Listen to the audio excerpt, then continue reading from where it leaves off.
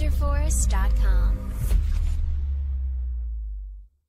射程覆盖整个地球，可携带十颗核弹头东风四十一相比还落后很远。近日，有媒体报道称，俄罗斯最先进的萨尔马特洲际飞弹已经进入量产阶段，即将在不久后装备部队。萨尔马特是俄罗斯最新研发的一款洲际飞弹，此前曾多次亮相俄军方的阅兵式。军事专家称，经过这几年的升级改进后，这款先进的重型液体燃料洲际飞弹将正式加入俄军，成为俄战略火箭军的杀手锏。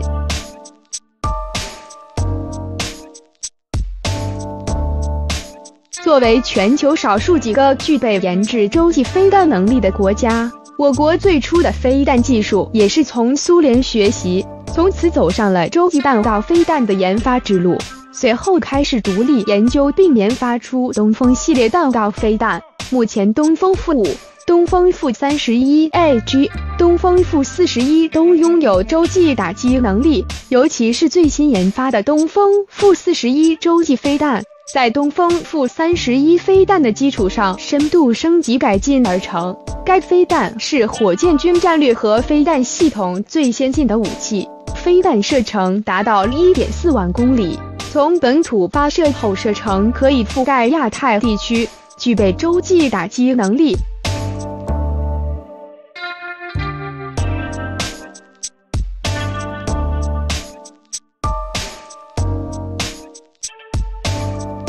东风负四十一可以携带六至十枚分导式核弹，同时采用惯性制导技术，以实现精准的目标打击能力。不过，东风负四十一飞弹虽然性能出色，但并非世界最先进。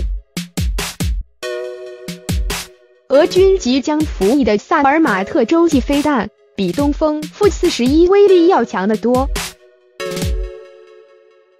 RS 二十八萨尔马特飞弹的射程达到一点六万公里，能够覆盖全世界各个地区，并能携带十枚七十五万吨当量的核弹头或一枚千万吨级的氢弹，几乎可以摧任何一个国家。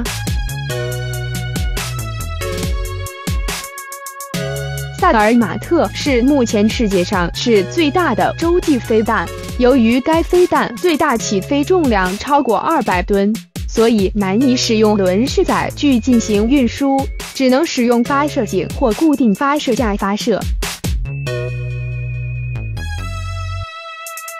即便如此，该飞弹仍然对美国和欧洲仍然拥有巨大的威慑力，因为该飞弹拥有四十个诱导目标，可以引导防空武器拦截其他诱导目标。